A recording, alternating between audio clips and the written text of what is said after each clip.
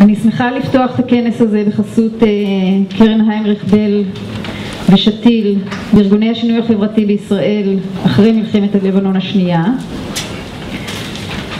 במהלך הכנס ננסה לברר ולהציף כמה מהשאלות ומהבעיות שנחשפו במהלך המלחמה ומקרינות על החברה הישראלית, על קבוצות שונות בחברה, על התנהלות הממשלה ועל התנהלות מה שנוהגים לכנות החברה האזרחית.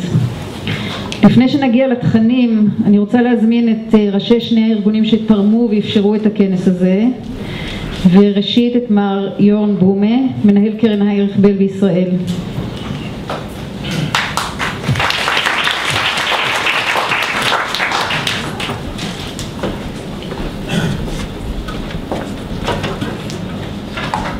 Good morning, Boker. Thank you very much.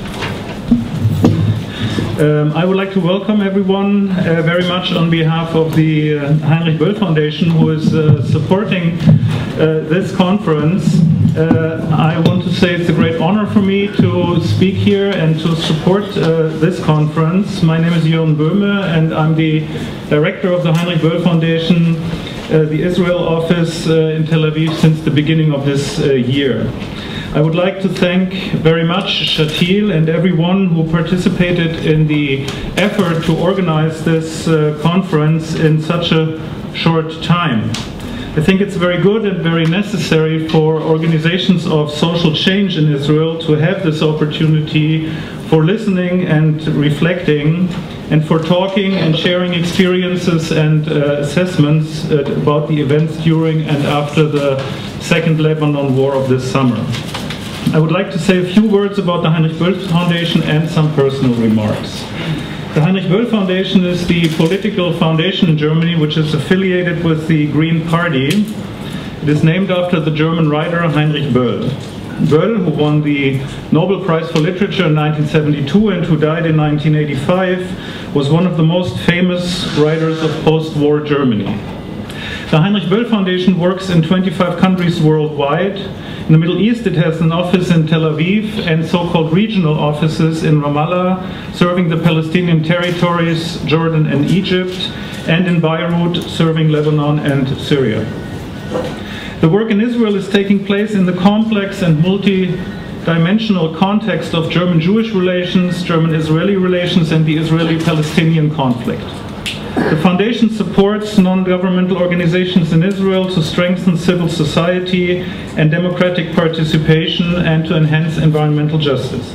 Both Lebanon wars were for me important aspects in the many years that I'm dealing with German-Israeli relations, developments in Israel and the Israeli-Palestinian conflict. In 1982, I learned something about political propaganda it was repeated so often that the military intervention into Lebanon was necessary in order to end the constant Katyusha attacks by the PLO on Israel that many people never realized that there were almost no such attacks between the summer of 1981 and the start of the war in June of 1982. I also learned a lot about the Israeli peace groups which did such an important work to counter this claim. The situation this time was not the same. Hezbollah did attack and Hezbollah did kidnap across the international recognized border. The dispute here is, and rightly so, about the way the Israeli government reacted. This conference is supposed to help get information and assessment on the issues, to help deal with problems and tensions that might have arisen, and to help to act in unity and to mobilize more support from within Israeli society. I wish I wish you that uh, you can make a contribution to this effort uh, during today and in the future in your respective fields of work and activity. Thank you very much and Shana Tova.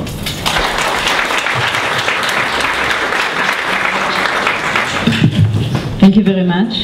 Uh, ואני רוצה להזמין את רחל ליאל, מנהלת שתיל.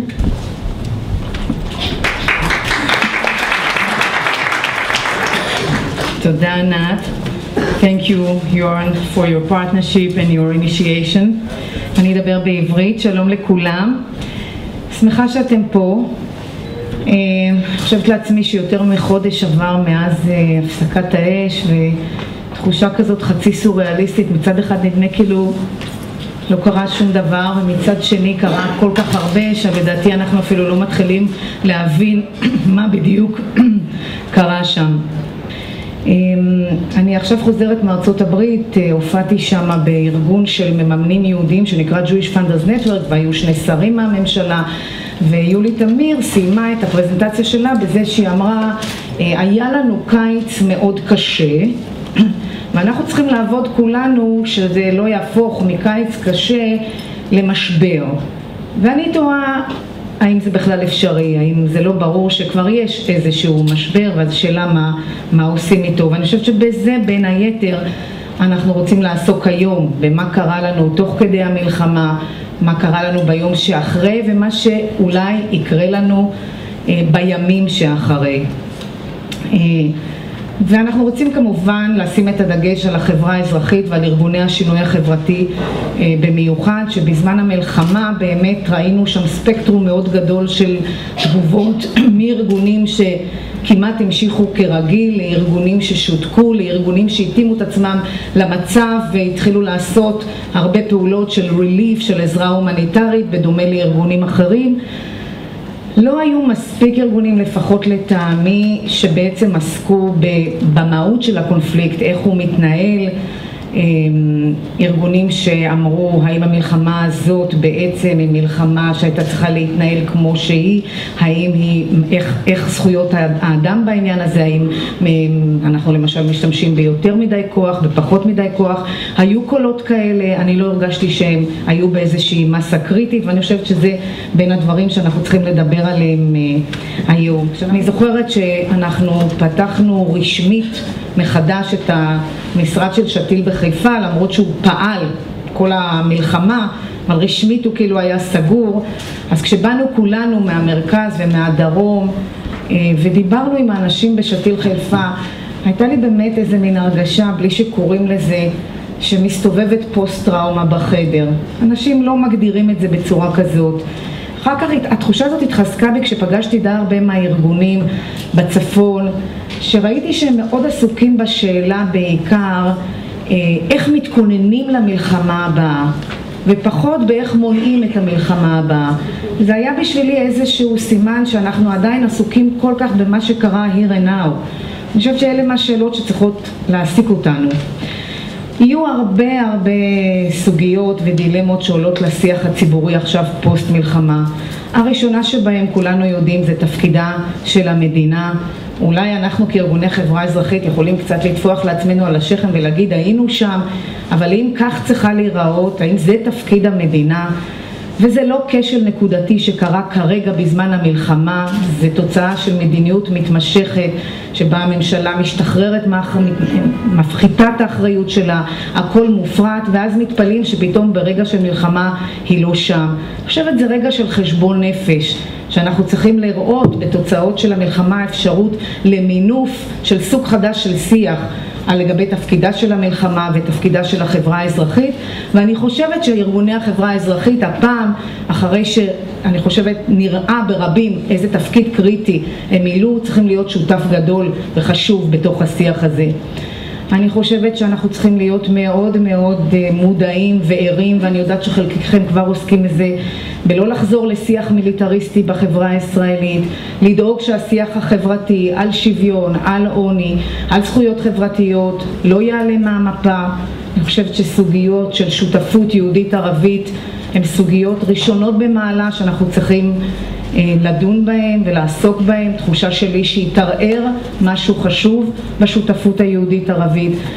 אני מקווה שיהיה לנו היום מעניין. תודה לכל המרצים שהסכימו לבוא ולהשתתף פה ולדבר איתנו. שאני מקווה שתהיה התחלה של דיון אזרחי חשוב, פורה, ובהזדמנות זאת גם תודה לכולכם על העבודה הנפלאה שאתם עושים, שתהיה לכולם שנה טובה.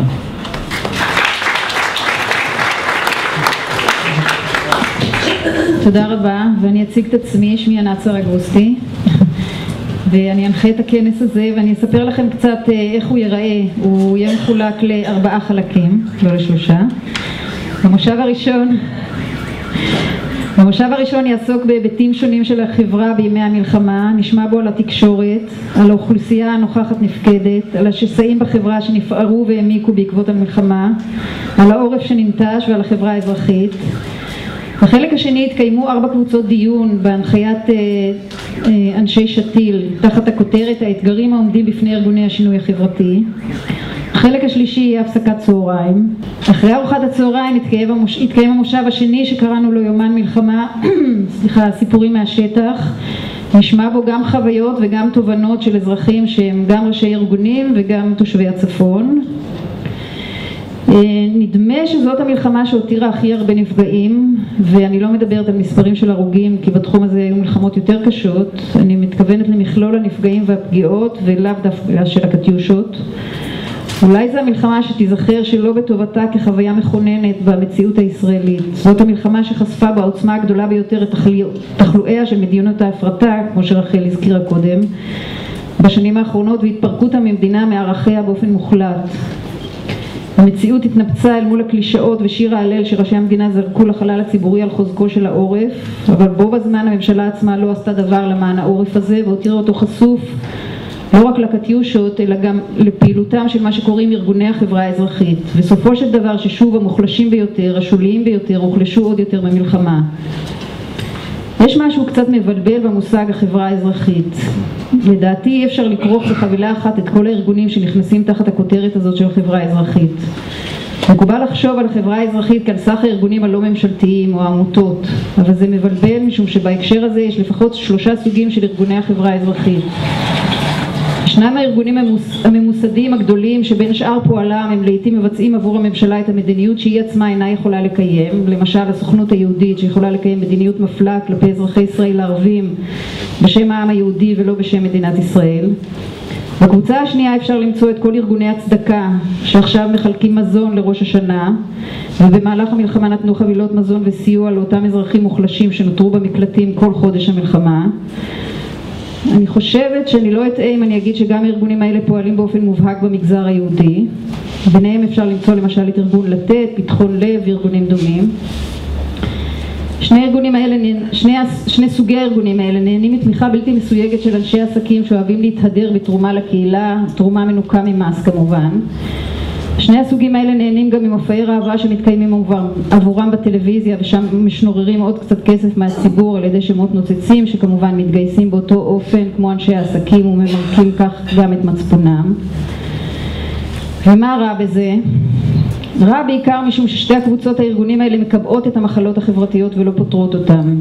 נכון שהם אולי פותרים מצוקה ברמת הפרט שלא ירעב היום ללחם, אבל הם מאפשרים למדינה להמשיך ולחמוק מאחריותה כי הם ממלאים את החלל שנוצר ומשתיקים. הקבוצה השלישית שאני רואה אותה היא ארגונים לשינוי חברתי. אלה ארגונים שמביעים ביקורת כלפי מדיניות הממשלה ועיקר פעילותם לשנות את המדיניות הזאת כדי שתהיה צודקת יותר. הארגונים האלה נדחקים בדרך כלל לשוליים משום שהם נחשבים רדיקליים. ולכן אסור לשים את כל הארגונים בסל אחד כי זה מבלבל. מטרת הכנס הזה לחשוף בין השאר את מכבסת המילים, לא רק את הכשלים של הממשלה, אלא גם את הבעייתיות של החברה האזרחית, להשמיע את קולם של מי שנדחקו לשוליים ובעיקר ללמוד ממה שקרה במלחמה וליישם אותו בתקופת השיקום, משום שבאותה נשימה שבה השתלט שיח ביטחוני על תקופת המלחמה הוא משתלט גם על השיקום, וכך קורה גם להפרטה. אז למושב הראשון, במושב הראשון שיזכור היבטים שונים של החברה בישראל במלחמה אני רוצה להציג את אה, פרופסור פרנסיס רדאי, משפטנית במכללה למנהל העיתונאית רותי סיני, חברת מערכת וכתבת הארץ לענייני רווחה שהיום אה, תזכה בפרס אומץ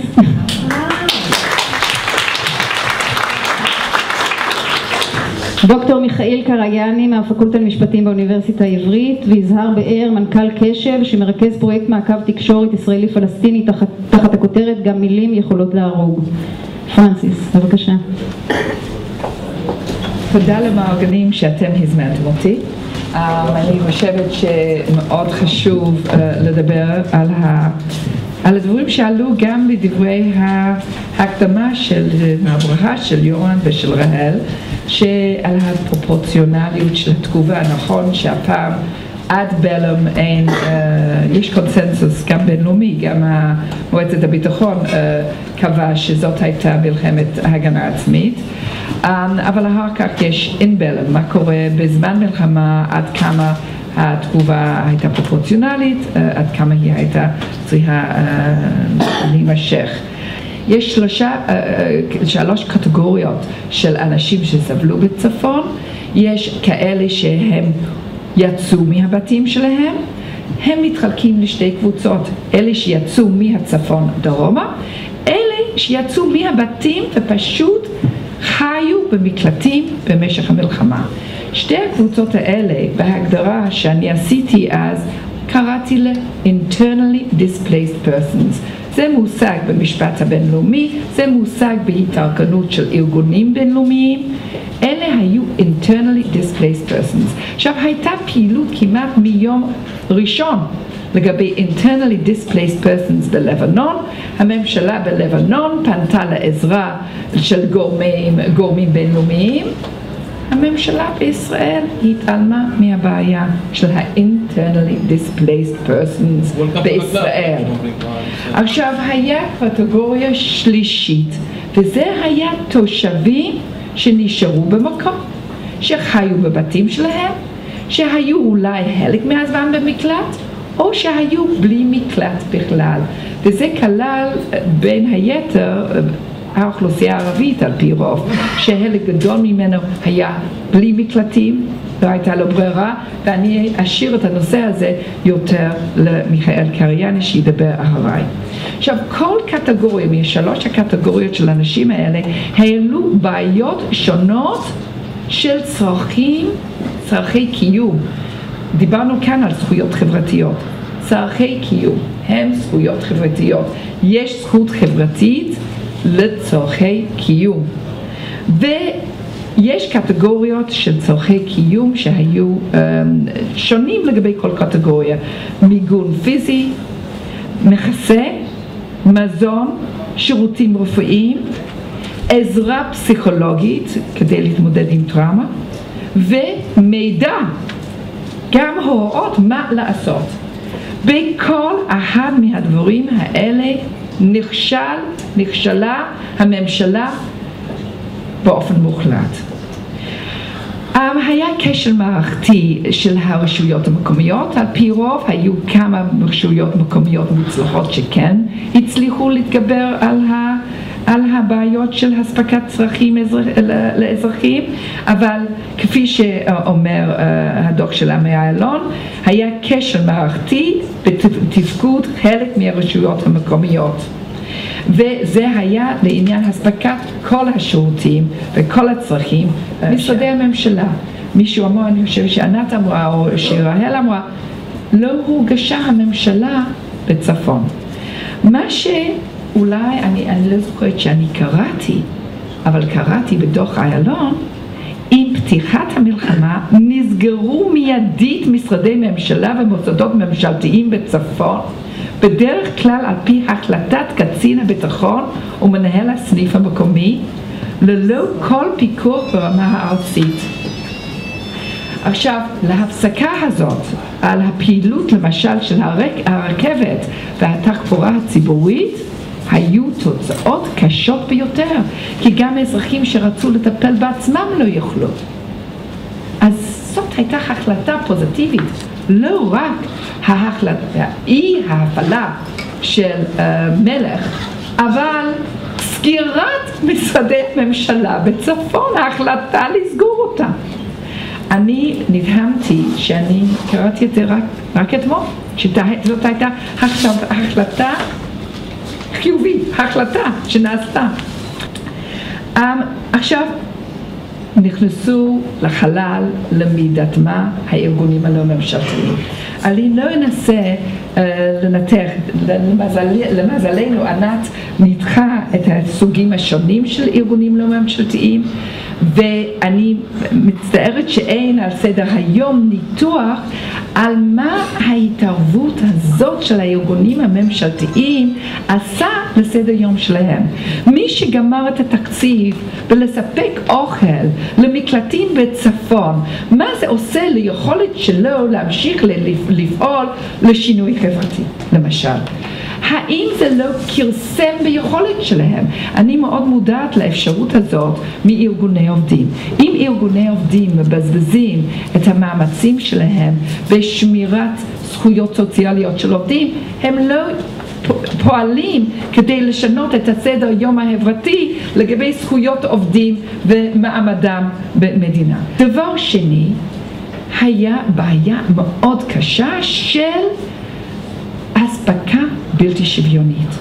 היה דוח של מהארגונים של הסקטור הערבי שהארגונים הלא ממשלתיים לא סיפקו להם עזרה. עכשיו, אי אפשר לבוא ולהשיב ארגונים לא ממשלתיים שהוקמו למטרות ספציפיות, זה אפשר אולי, אבל לא כדאי. יש סקטורים, מטפלים בסקטורים, אבל התוצאה של להשאיר את המצב לטיפול של ארגונים לא ממשלתיים, זאת התוצאה שחלק ניכר מאזרחי המדינה לא מקבלים, שההספקה היא לא עקבית על פי מדיניות של שוויון כל אזרחי המדינה. ואם אנחנו ראינו בבג"ץ מחויבות, שבית המשפט העליון דיבר על המחויבות רק לספק צורכים קיומיים מינימליים, אני מאוד מצטערת על ההחלטה, אבל זאת החלטה של בג"ץ, ובג"ץ מחויבות. כאן מדובר בזכויות מינימליות, זכות קיום מינימלית. כאן מדובר על מה שנקרא ב, um, בשפה של המשפט הבינלאומי על זכויות גרעין, core obligations, ובזה ממשלת ישראל נכשלה. והתקציב לא מראה שהממשלה הפנימה את דחיפות הבעיה. בעיניי זה באמת באופן בסיסי דחיפות חברתית, אבל גם לפי תפיסתה ביטחונית. והיא לא הפנימה את הבעיה. ואיך אנחנו יודעים? אנחנו יודעים מהעלאת שכר מינימום ב-15 שקל, שזה פשוט מעליב. זה אנחנו יודעים את זה מהמשך הורדת מיסים, למרות העובדה שלפי כל ההצהרות של ביבי נתניהו, המשק שגשג וצמח במיסים הקיימים. אבל ה-World Bank העמיד אותנו רק מספר 26 במדינות עם, עם, עם, עם, עם כלכלה חופשית רק בגלל גובה המיסים. בסדר, אז אנחנו נהיה 26 או 36 או 66 אבל שיהיה טיפול קודם כל בבעיה הדחופה של השכבות החלשות במדינת ישראל. אני אומרת שוב, אנחנו צריכים, בכל זאת בארצות הברית, ניו אורלינס הפך לסמל של הדיכוי, ההזנחה והקיפוח של שכבות שלמות בארצות הברית. אי אפשר לתת לדבר הזה להפוך להיות בעיה ביטחונית לא קשורה לצרכים של אוכלוסיות שלמות והולכות וגדלות בישראל לפיתוח וליכולת למצא את הפוטנציאל האנושי שלהם. תודה.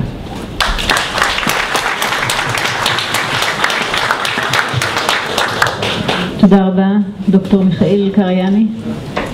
בוקר טוב לכולם. אה, אני התבקשתי לדבר כאן היום על תקן של אה, אקדמאי ערבי ועל התחושות אה, והתזות שאולי יש לי או אין לי בעניין המלחמה. והאמת היא שאני לא באתי לי כאן כדי להרצות בפניכם על נושא משפטי, אלא דווקא על התחושות האישיות שלי ועל החוויה שהייתה לי במלחמה. הדבר הראשון שאני רוצה לדבר עליו זה שכל פגז שנשמע בצפון פגע ביחיד הערבי. לא רק הנפילה שהייתה בגליל, אלא גם ההפגזה של צה"ל בתוך דרום לבנון. כל פגז פגע. כל פגז עשה צביטה בלב מבחינתם של הרבה אזרחים ערבים בצפון. כי להרבה מאותם אזרחים יש לא רק אנשים שנמנים על הלאום שלהם שם בדרום, אלא גם קרובי משפחה ממש, אפילו מדרגה ראשונה, עד כדי אחים ואחיות. ואני חשבתי על אימא שיש לה דודה בצידון, אה, איך היא מרגישה? חשבתי על הרבה חברים בעכו שיש להם קרובי משפחה בדרום, איך הם חשבו? מבחינתם של הרבה אזרחים בישראל, וזה גם למדתי מהתקשורת, נוצרה איזושהי יכולת, איזשהו חוש להבחין בין הנפילה לבין ההפגזה של צה"ל מה... כל הפיצוץ. היציאה. אולי תרתי משמע, אבל זה נשאיר לסוף. מבחינת התחושה שלי,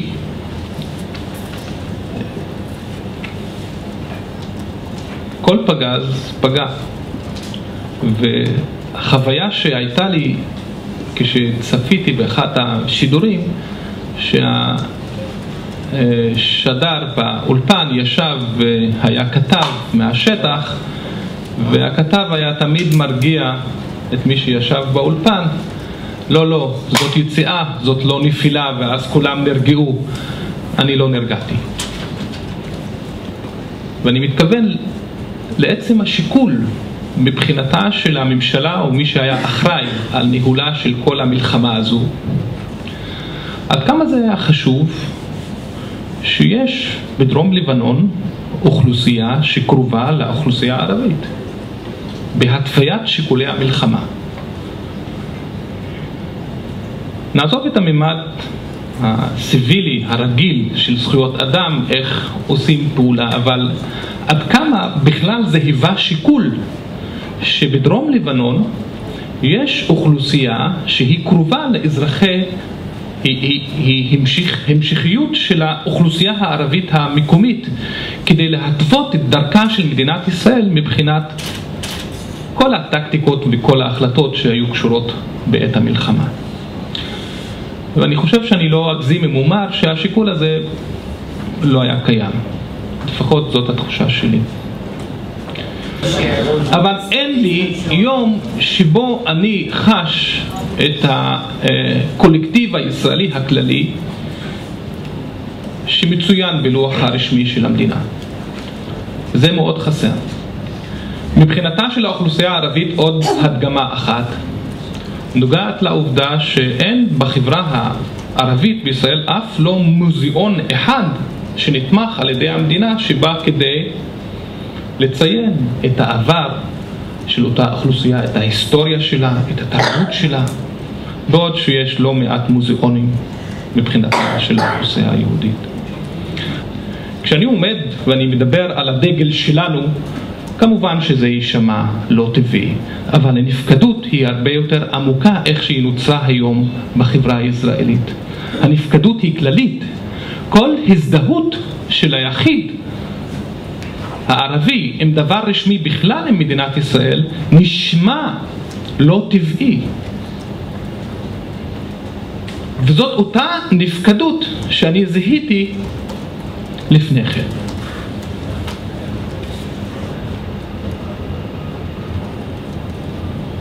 והשאלה מה אנחנו יכולים לעשות כדי אולי ליצור איזשהו שילנו קטן בתוך הים החצוי שיש לנו, כל אחד עם הים שלו. וכאן לדעתי הקושי. והקושי לדעתי נובע מסיבה אחת.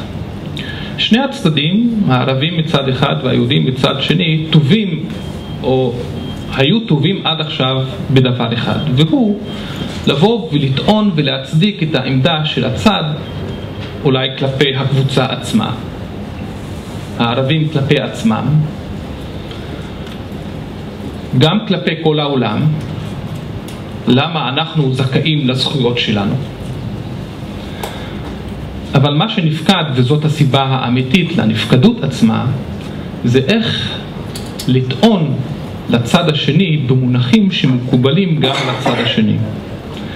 איך לשכנע את הצד השני במונחים שיכולים להיות מקובלים גם עליו בצד, בצדקת עמדתו של הצד האחר.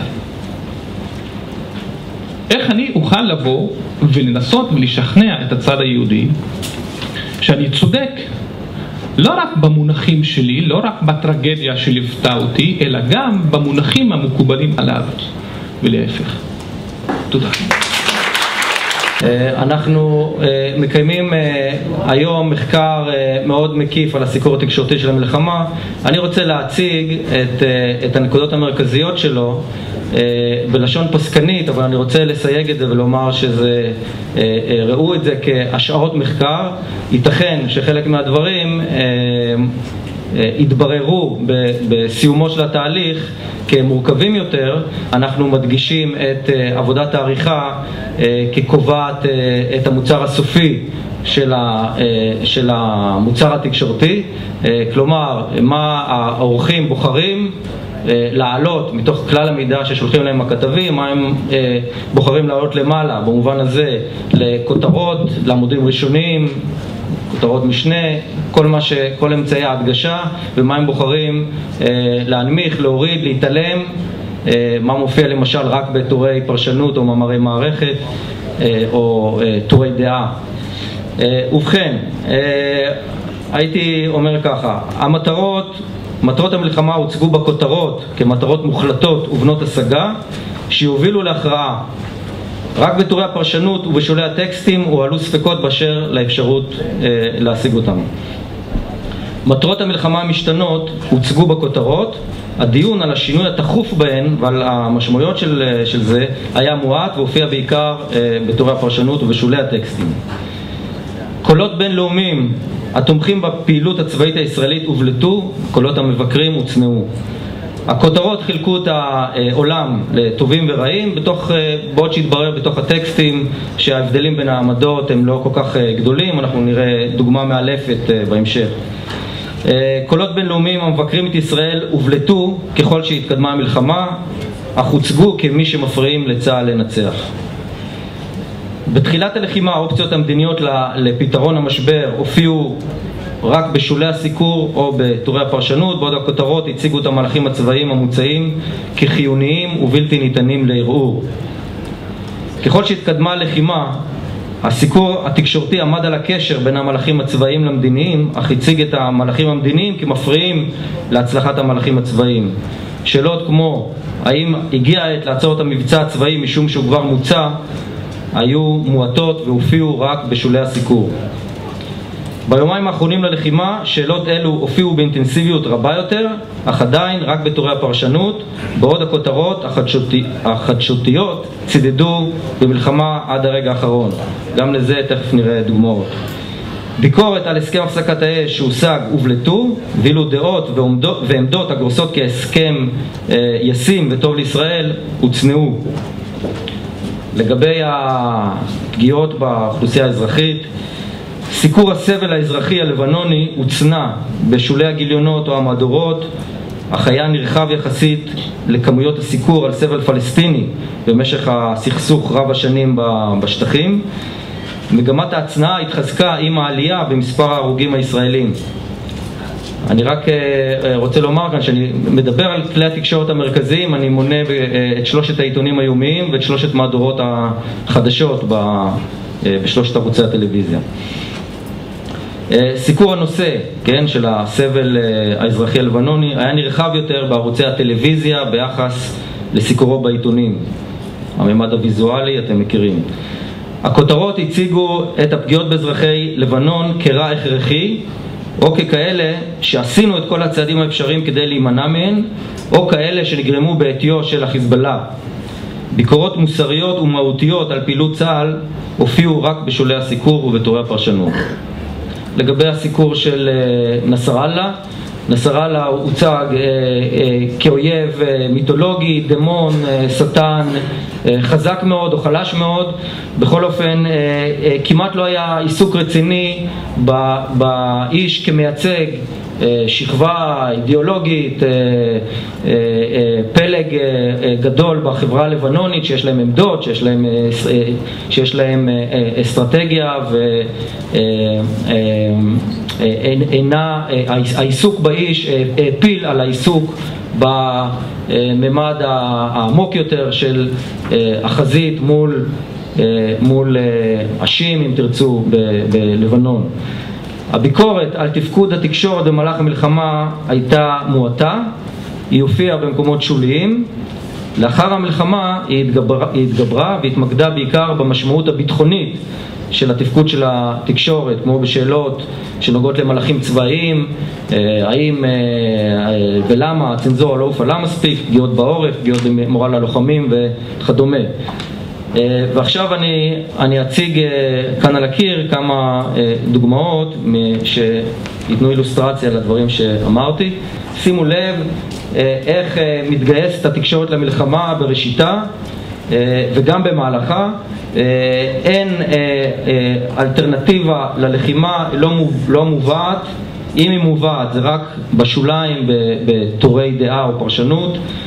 כל חוקרי התקשורת עמדו על זה כבר, שהמשמעות של כותרת, המשמעות של כותרת בעיקר בעמוד ראשון או בעמודים ראשונים, חלק גדול מהאנשים אין להם, אין להם זמן לקרוא עיתונים, חלק מהאנשים לוקחים בסופר את העיתון ומעללים בדפים הראשונים, קוראים את הכותרות. גם אלה שקוראים את, ה, את הטקסטים הם מושפעים מהעוצמה ומהגודל ומהנוכחות של הכותרת. לכותרות יש אה, אה, השפעה גם כ-hard news, כאמת, זה העובדות, זה מה שקורה, זה לא פרשנויות על האמת. הדיון בהפסקת האש תמך במלחמה, במלחמה עד הרגע האחרון, שוב בכותרות, בניסוח שלהם. ראינו את זה באופן הבוטה ביותר בכותרת הראשית של הארץ, כאשר כבר סוכם על הסדר של הפסקת האש, כאשר הכותרת הראשית של הארץ אומרת מפיו של ארי שביט, אולמרט חייב ללכת. אם אולמרט יעצור את המלחמה עכשיו, הוא לא יכול להישאר ראש ממשלה אפילו ליום אחד. כאשר אנחנו לוקחים בחשבון שיש לנו ממשלה שראשיה הם חדשים בתפקיד הם, והם נתונים בלחצים עצומים מכיוונים שונים, מכיוון הדרג הצבאי ודעת הקהל והעיתונות קשה להניח שלעמדה כזאת של התקשורת בשלב כל כך מכריע לא הייתה השפעה על, על ההתפתחויות בהמשך. אחד הדברים שלא התייחסת אליהם זה מקומן של הנשים בתקשורת, אבל לא ניכנס לזה עכשיו. אז רותי סיני, אישה בתקשורת.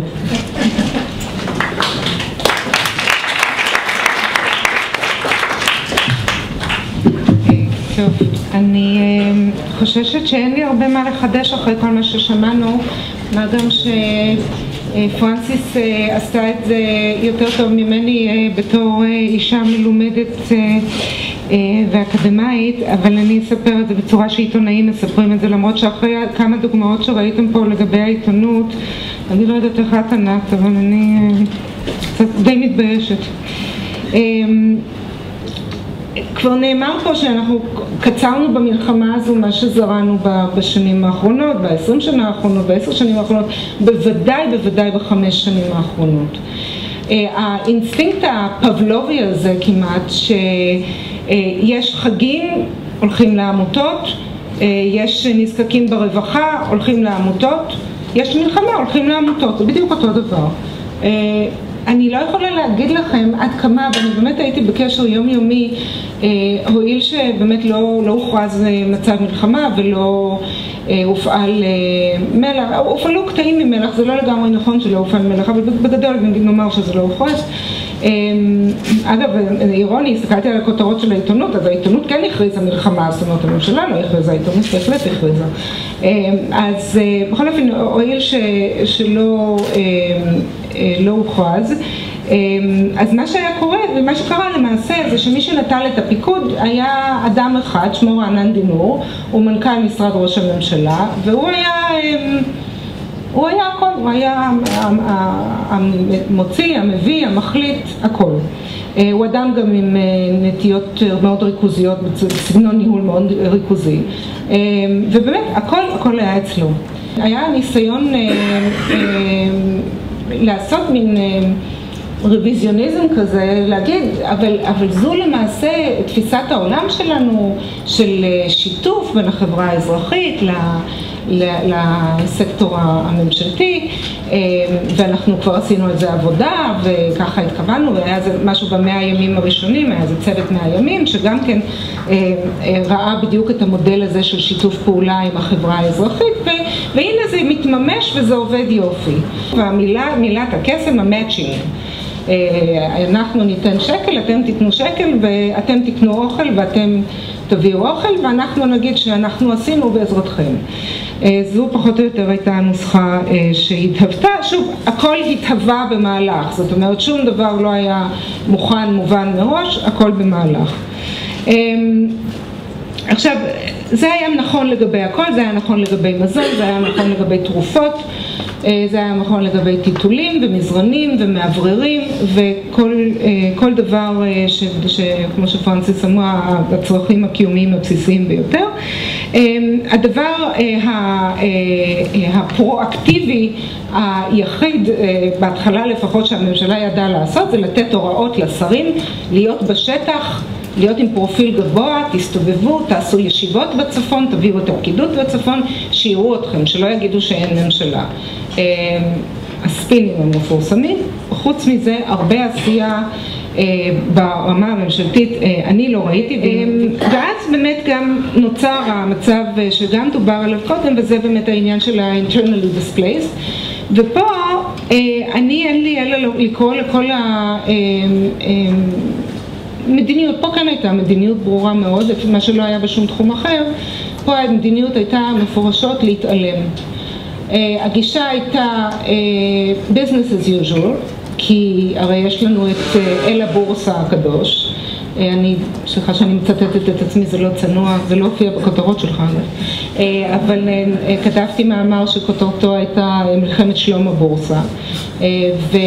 ומה שעצבן אותי וגרם לי לכתוב את זה הייתה אמירה של ראש אגף התקציבים באוצר שאמר שעכשיו, זה, זה שבוע או שבועיים אחרי, אחרי תחילת המלחמה, עכשיו אנחנו קוצרים את הדיבידנדים של המדיניות הפיסקלית והכלכלית הנבונה שלנו של השנים האחרונות, בזה שבאמת למרות המלחמה הבורסה אה, רגועה ואפילו עולה והשווקים לא התערערו ויש משקיעים והכל בסדר.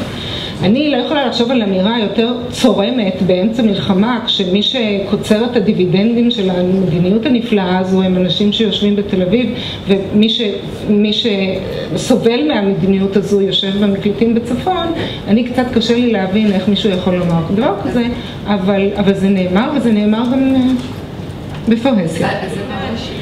הממשלה, אז העניין הזה של המאצ'ינג הקדוש הזה, של השבע, מה, הממשלה אין לה עוד שבעה וחצי מיליון להוציא מכיסה בשביל לממן את הארוחות האלה, אבל באמת קשה להבין. זו אידיאולוגיה, זה ברור לגמרי, זה לא עניין של כסף. טוב, אז יש לי מעט מאוד זמן, אני לא בטוח שאני אענה על כל השאלה הרחבה הזאת, אבל אני אגיד, אה, אני אספר בכמה מילים על הפרויקט.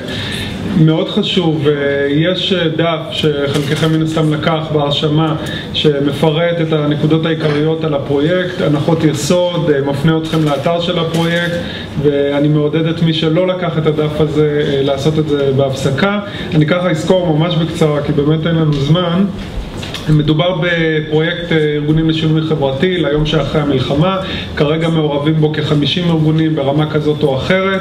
ממש בקצרה שתי זירות עיקריות. הזירה הראשונה זה מה שאנחנו קוראים צוות שיקום הצפון, מתוך הנחה באמת שאנחנו לא, שיש לנו ביקורת גם על מה שהיה, אנחנו רוצים ליצור איזשהו מהלך, מהלך שיוצר איזושהי מציאות אחרת, והצוות הזה, התפקיד שלו מעקב אחרי תקציבים, אחרי החלטות הפיצויים והמימוש שלהם, וההיערכות לשעת, לשעת חירום. בהקשר הזה מאוד מאוד חשוב, יש מסד נתונים שבנינו, יושב באתר שלנו, באתר שתיל, org.il/לבנון 2 שוב, בדפים שאתם יכולים לקחת יש את הפירוט הזה. המסד נתונים אמור ליצור בדיוק את המעקב התקציבי הזה. כלומר, לעשות מעקב אחרי איזה החלטות ממשלה קיימות, גם אחרי תקציבים ממסדיים, גם אחרי תקציבים סמי-ממסדיים, כמו באמת הג'וינט והסוכנות, שאנחנו חושבים שכן צריכים להיות מחויבים לערכים של שקיפות, שיתוף הציבור ושוויון, ופה התפקיד שלכם הוא מאוד מאוד חשוב, ליצור את המעקב הזה, ואחר כך באמת ליצור, ליצור גם את האינפוט של איזה החלטות החלטות יש וגם אחר כך המעקב אחרי מה יתממש, באיזה צורה יתממש והאם זה מממש את הערכים האלה.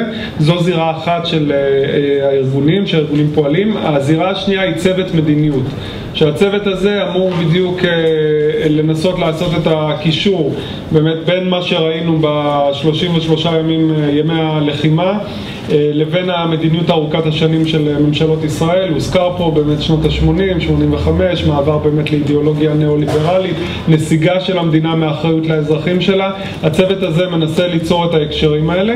כרגע על סדר היום של הצוות הזה עומדים שני פרויקטים עיקריים, הפרויקט הראשון זה סדרה של שימועים ציבוריים שאנחנו רוצים לעשות בערי הצפון, בצפת, בקריית שמונה, בנצרת, בחיפה, ובסופו של דבר להגיע לאיזשהו דוח שלנו, או משפט ציבורי, זה עדיין לא סגור, אבל הפרויקט הזה הולך ומתקדם, והמאבק הציבורי באמת מסביב לתקציב המלחמה, שממש נאמר כרגע, יש מחיר מסוים למלחמה, בין אם נצדיק אותה, לא נצדיק אותה, אני יודע שלאנשים פה יש ויכוח, יש מחיר והחשבון מוגש כרגיל לחשודים הרגילים, לאוכלוסיות המוחלשות, ולא לאלטרנטיבות אחרות שקיימות, ומן הסתם שמעתם בשבועות האחרונים שיש אנשים שנותנים אלטרנטיבות והרעיון, הניסיון זה באמת ליצור מאבק ציבורי מסביב לזה. התפקיד שלכם בזה כארגונים, כפעילים, זה גם חיבור לזירות הספציפיות, לצוותים הספציפיים שנמצאים בעבודה, גם יצירת החיבור לקהילה, כלומר מאוד מאוד חשוב, לא כולנו נמצאים עם כל הקהילות כל הזמן, הארגונים עובדים באוכלוסיות מסוימות, במקומות מסוימים, אז להציף כלפי מעלה ולתת לנו את המידע, גם עזרה באמת בנושא של מעקב אחרי תקציבים, מסד הנתונים וכולי. יש את האתר, שוב, זה שתיל.org.il/lebanon2, מרוכז שם כל המידע בנושא, אם מהתקשורת, עם, עם דוחות, ניירות עמדה, עם מסד הנתונים וחומרים אחרים. אני מעודד את כולכם להיכנס לשם, להתעדכן ולהוסיף דרכנו לחומרים שנמצאים שם. אז המון תודה.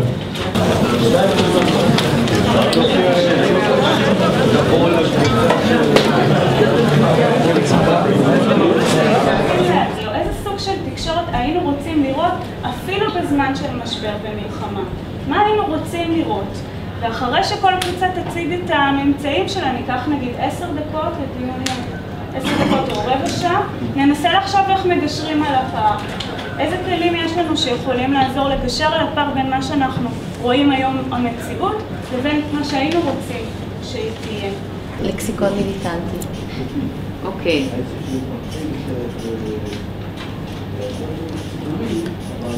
מה שנקרא, התקשורת קיבלה צו שמונה.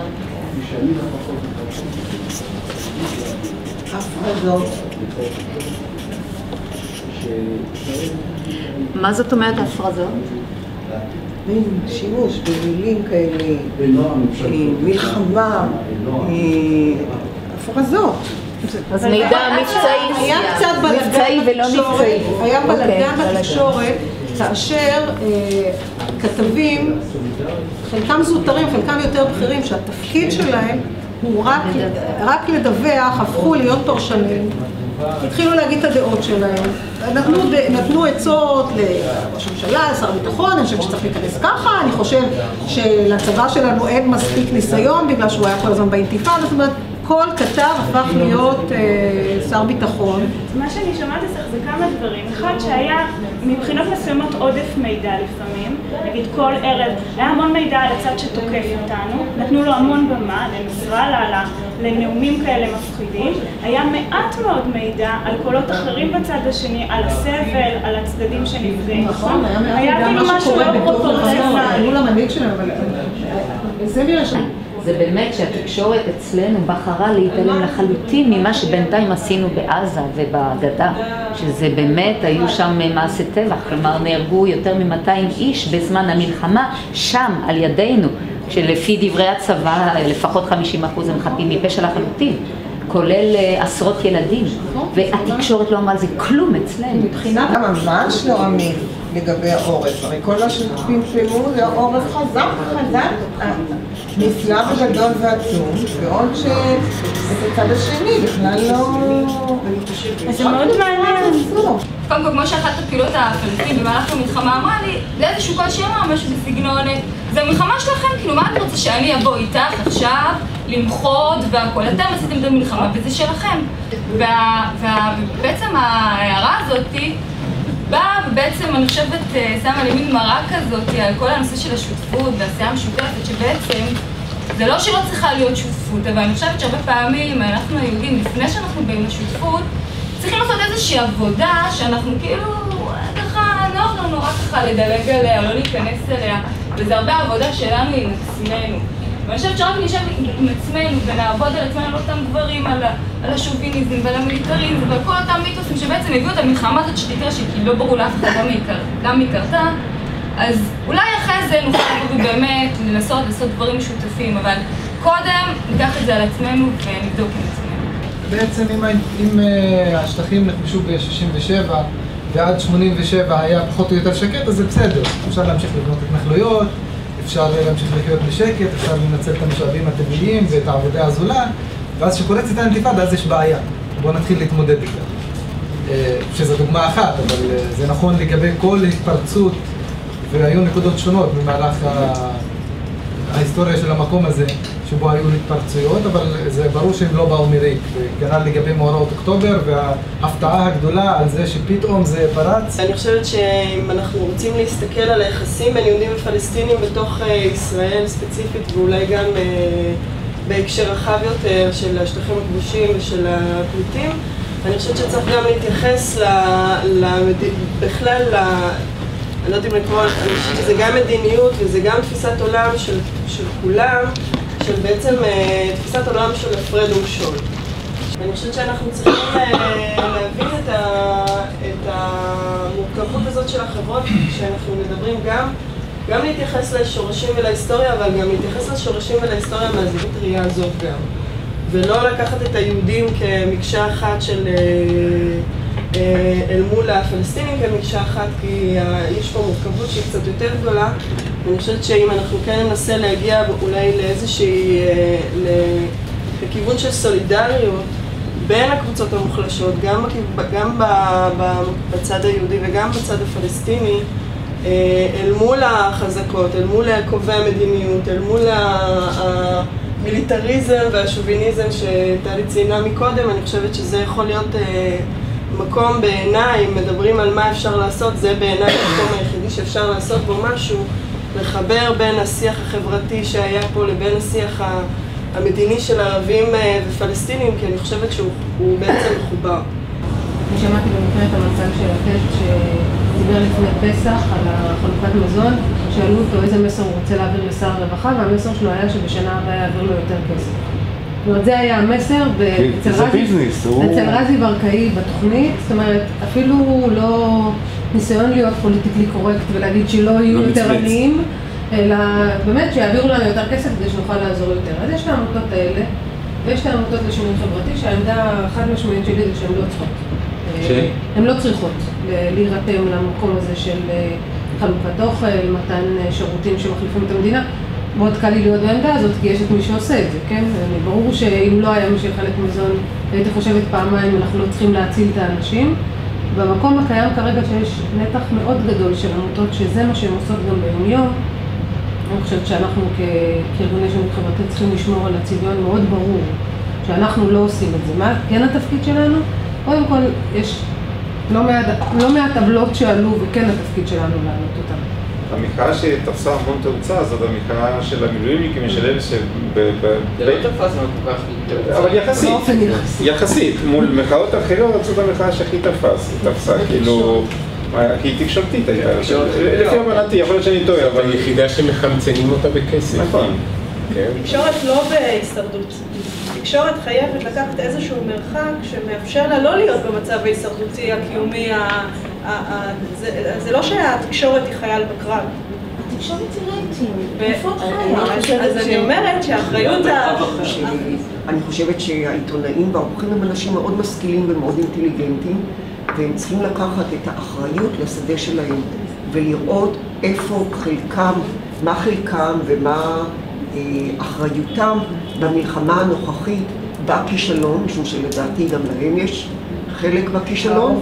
משהו נוסף, שהעניין של ערוצי תקשורת אלטרנטיביים, בעיניי אסור לייחס לו יותר מדי חשיבות, למרות שזה חשוב וכולי, כי המטרה היא להשפיע על התקשורת המיינסטרים, כי רוב האנשים קוראים את ידיעות מעריב, ונגיד הארץ ורואים טלוויזיה, כי זה רוב האנשים, אז זה נורא נחמד שיש אתר כמו אגדה השמאלית, שיש שם ביקורת מאוד טובה וזה, אבל זה לא ישנה גם את ה...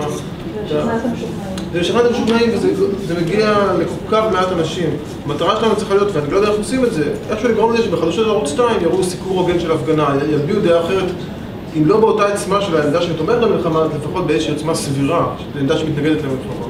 אז מה שאתה אומר, לא היית רוצה לפתוח עוד ועוד ערוצים, אלא להכניס את התוכן שיש בערוצים האלטרנטיביים לתוך המיין. כן, אני חושב שאני משקיע בזה... למשל הדיווח הזה בערוץ 10 שהעמיד למשפט הציבור אנשים, ולא משנה אם אני חושבת שהם נושאים באחריות, אני חושבת שהעובדה שזה משפט ציבורי כזה נעשה אני חושבת שנובעת ממניעים של לכסות על הדיווחים שלהם הם עצמם, על ההתלהמות שלהם. זה עוד התלהמות מהסוג של ההתלהמות שהייתה בתחילת המלחמה, רק הפוך.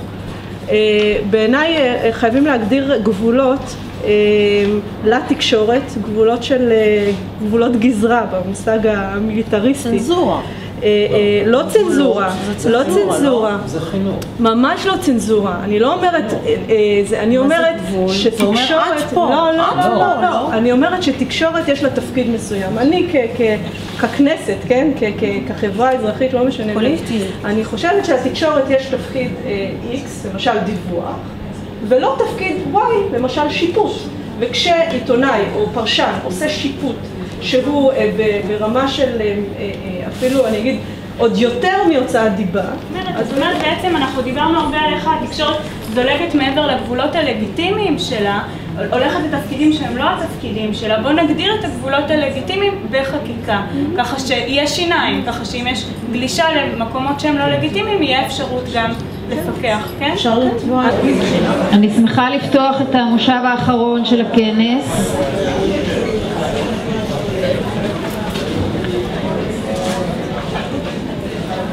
אתם יודעים שאני באה מהתקשורת העוינת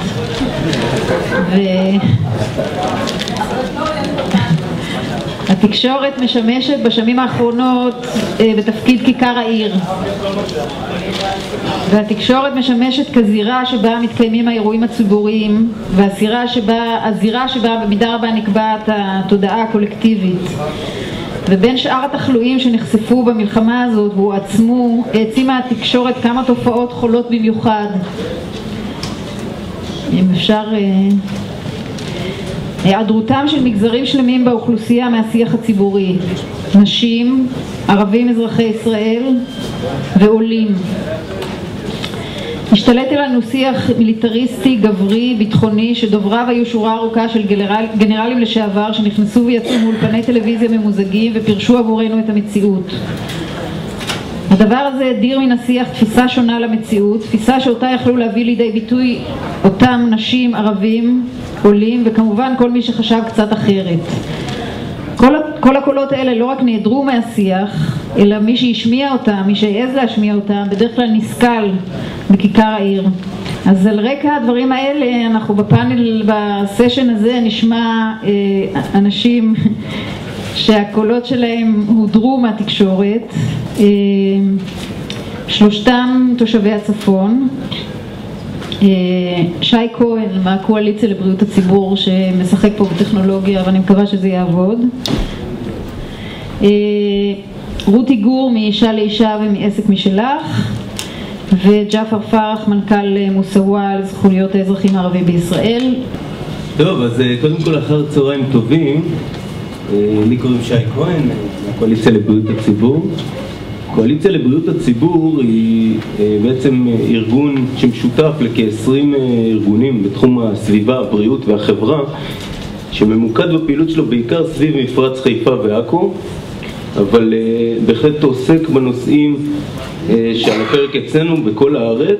המיקוד הזה גם מכתיב את רוב השותפים, רוב הארגונים הם מהאזור. אם זה אה, ארגוני סביבה וחברה, אם זה ועדי פעולה של קהילות נפגעות ספציפיות.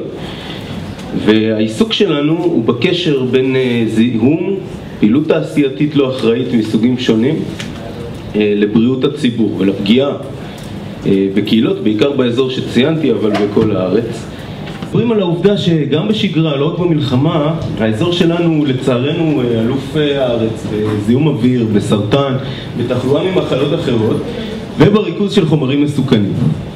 בעצם במפרץ חיפה לבדו יש 23 מתקנים שכל אחד ואחד מהם יכול לגרום לאסון בקנה מידה אה, לאומי ואני אומר את זה אה, לא, לא מתוך הגזמה, אנחנו מדברים על תרחישים של מאה אלפי ועד אה, מאות אלפי נפגעים מתרחישים של חומרים מסוכנים שבזמן המלחמה התחילו להטריד את התושבים ואת הפעילים שלנו יותר ויותר. אני רוצה לדבר קצת על איך אנחנו עובדים.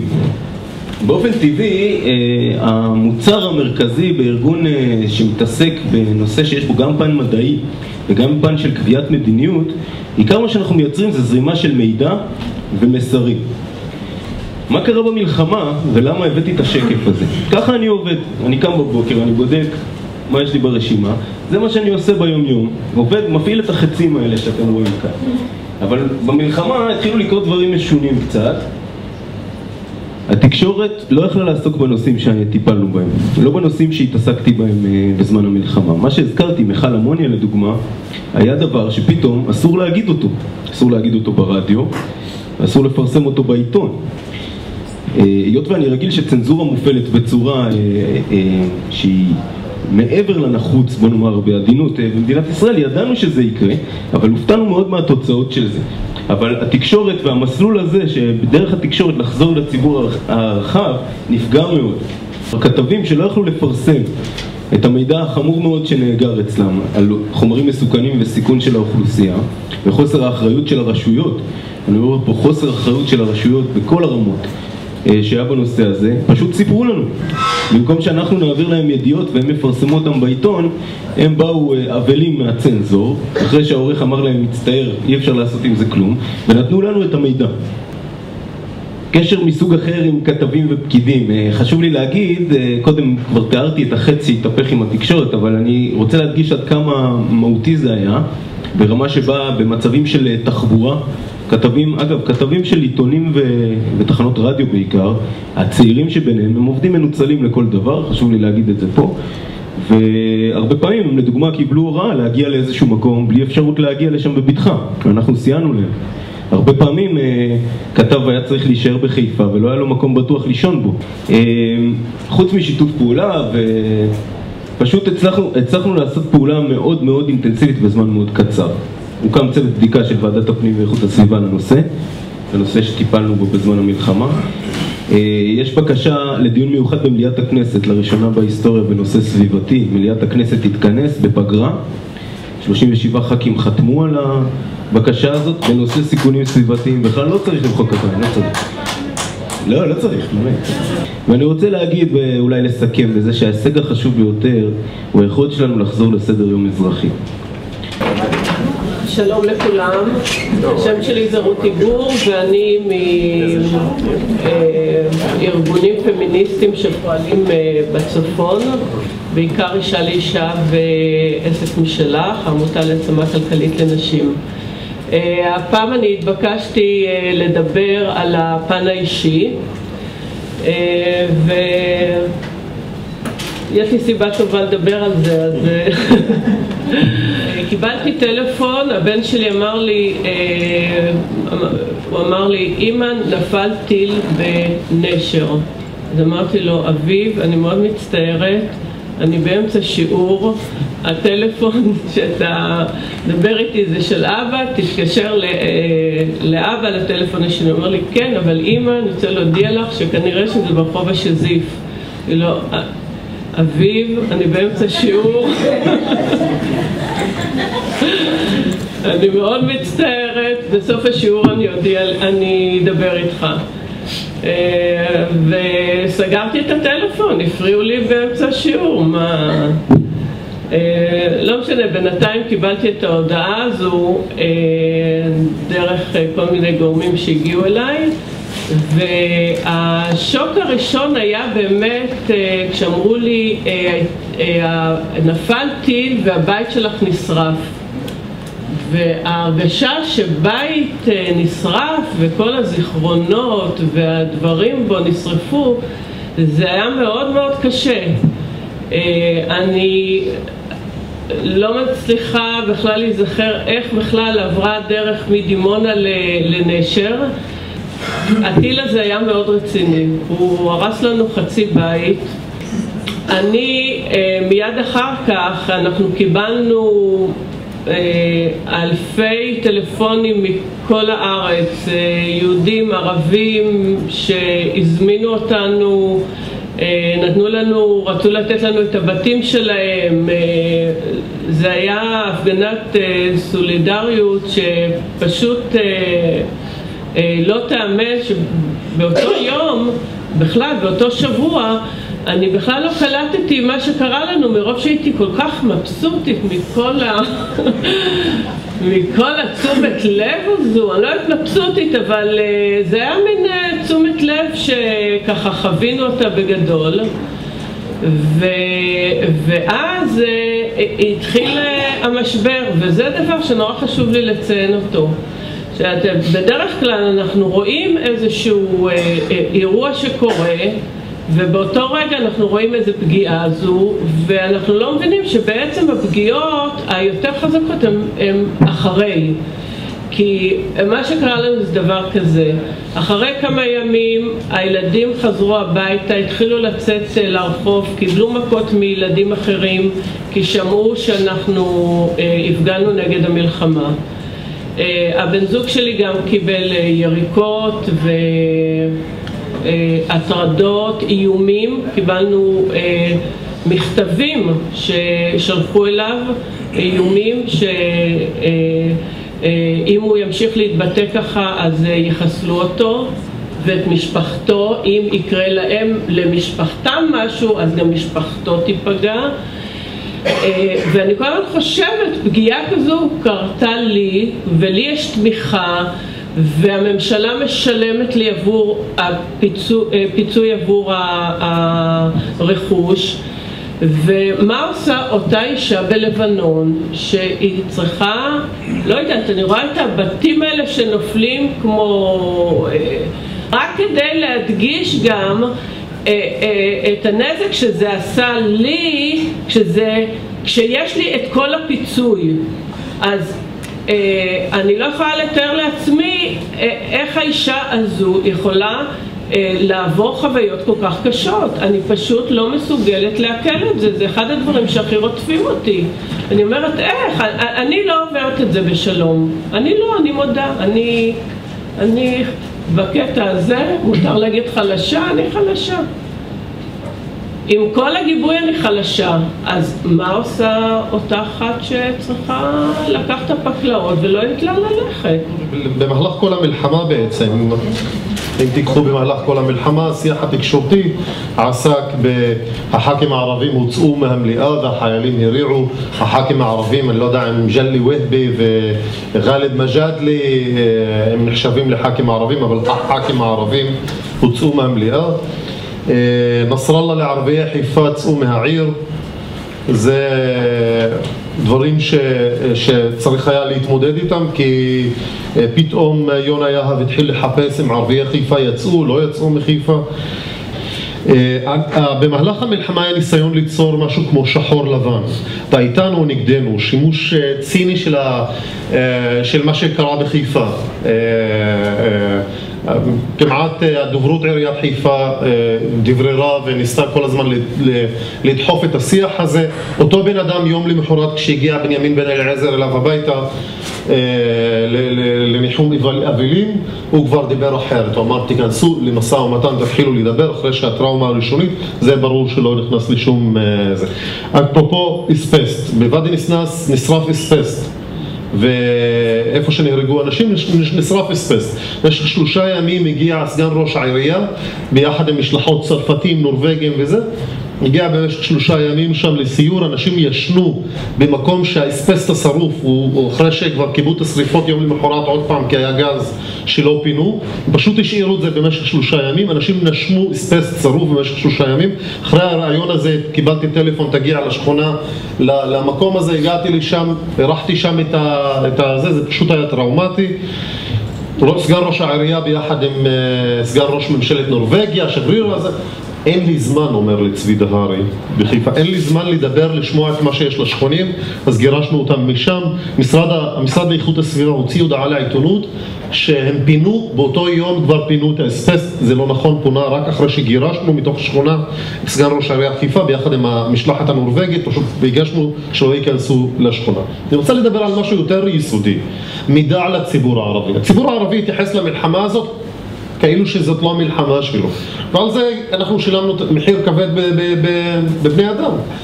אני, לשם השוואה, מקום כמו כרמיאל שמגיע למשהו יותר מ-200 ומשהו מקלטים, מולו יש את שגור, שלושה יישובים כמעט באותו מספר תושבים, יש שלושה מקלטים שם.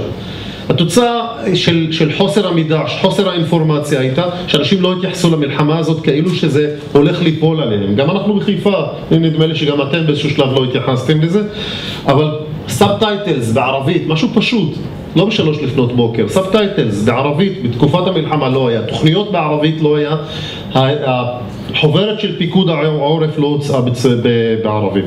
אני רוצה להגיד לכם משהו שזה, אנחנו עברנו למשרד שלנו, זה, שני ההרוגים נפלו ליד המשרד שלנו. אנחנו עברנו יום לפני המלחמה למשרד שלנו, לא היינו, היינו בלי אינטרנט, בלי מחשבים ובלי זה, אבל אישית חשבנו, אנחנו ארגון זכויות של האזרחים הערבים בישראל, אנחנו לא ארגון שלום. אין ארגון שלום ערבי שפועל בישראל. לא חשבנו כאנשים שאנחנו צריכים לפעול, לעשות, להיות בהפגנות. ואז עביר הייתה ואני הייתי, אנחנו ברמה האישית היינו פעילים בתוך ההפגנות, אנחנו גם נעצרנו בתוך ההפגנות האלה. חורה לי, כואב לי, קודם כל שאין תנועת שלום ערבית, ארגון שיעסוק בקידום השלום כארגון ערבי, והוא חורה לי בגלל הבלבול שדיברת עליו רותי, ולא הבלבול של מה שהוגדר, אני הייתי בכנס ואז הגדירו אתכם השמאל הרדיקלי. לא, אני חושב שחורה לי בגלל שיש חוסר כיוון שלום עכשיו בקרוב הארגונים אנחנו היינו בפרונט אה, של, של, של, של או עם נסראללה או זה אם אתם קוראים לי שלום אז אתם עם נסראללה, הפסקת אש אתם עם נסראללה אני חושב שאנחנו צריכים לעבור מהשלב הזה של להיות בהפתעה, שלום כנראה לא יהיה בקרוב פה, אנחנו נצטרך כערבים לקדם את השלום לטווח ארוך בצורה מאורגנת ומקצועית ואנחנו לא צריכים לסמוך על שלום עכשיו, ולא צריכים לסמוך על האנשים שמתבלבלים די מהר. עם, אה, אני גם הייתי ילד כשמלחמת לבנון הראשונה פרצה, גם שם לקח חודש, כמעט חודש ומשהו, עד שהשמאל הלא רדיקלי התחיל לזוז, וראינו איזה מחיר כולנו שילמנו אה, בעקבות השאננות הזאת. אני רוצה אה, להציע אה, ככה בראייה עתידית, מעבר להתארגנות הערבית שהיא חשובה וחשוב להקים את זה בהקדם האפשרי ויהיה כזה גוף מקצועי שיפעל כמו שפועלים ארגונים ערבים בנושאים אחרים, יפעל בצורה, בקידום השלום ונגד הכיבוש בצורה קבועה. אני חושב שהגיע הזמן שנקים צוות חירום קבוע שלא רק באירועי אוקטובר 2000 אחרי שבוע נתעורר, אלא אונליין, ביום למחרת. אני רוצה להגיד מילה אחת לשתיל ומילה אחת לשותפים היהודים שלנו. חבר'ה, לקח זמן עד ששמענו אתכם, אמרנו את זה באוקטובר 2000. לקח זמן, לוקח זמן עד שהציבור היהודי שרוצה ככה, זה מתעורר ומתחיל לזוז. אני הרגשתי טוב כשעמדתי בהפגנות בחיפה ובתל אביב וראיתי 8,000 יהודים ו-2,000 ערבים. אמרתי למה אין ערבים ואמרתי למה המפלגות הערביות נכשלות בלהביא אוטובוסים ולה, ולהוציא אלפים להפגנות. זה מה שעשינו במלחמת לבנון הראשונה. כואב לי, כאב לי ש, אה, אה, שהחברה הערבית לא קמה והתארגנה בצורה נכונה להתנגד למלחמה הזאת מתוך החשש להיות העליהום הזאת, מה שכתב לנו בן כספית, תחליטו אתם איתנו, נגדנו אז זה העליהום הזה מפחיד את האוכלוסייה הערבית אבל אין מה לעשות חייבים לזוז כחברה ערבית, אנחנו נהיה בפרונט, ישר כשאנחנו נגיד שאנחנו נגד המלחמה הבאה או נגד המלחמה שהייתה, אנחנו ישר יגידו לנו אתם צריכים לעבור הלאה, ליברמן, איפה איתם, אתם שומעים את הדברים? חסר לנו את היהודים שבאים וקמים, לא רק השמונת אלפים והמאה ועשרים והחמישים שפעלו, שנהיה תנועה אה, אמיתית ולא רק האנשים שאנחנו רואים ברחובות, זה יותר אנשים שהם לא פונקציונרים של, של עמותות, הם לא עובדי עמותות, ואני חושב שזה חסר לי, חסר לי יותר, יש לפעמים, אני, אני מגיע למפגשים שרואה מאות נציגים של עמותות שעוסקים בשלום ודו-קיום וזכויות חברתיות כלכליות וקידמו את עמיר פרץ להיות שר ביטחון, חסר לי היה השבועיים הראשונים חסר לי היה תנועה יותר רצינית ואני שמחתי לראות את רותי עם כל הכאב, שמחתי לראות את רותי ברחובות, אני הצטערתי שאנחנו היינו צריכים להיות עוד פעם ברחובות. תודה.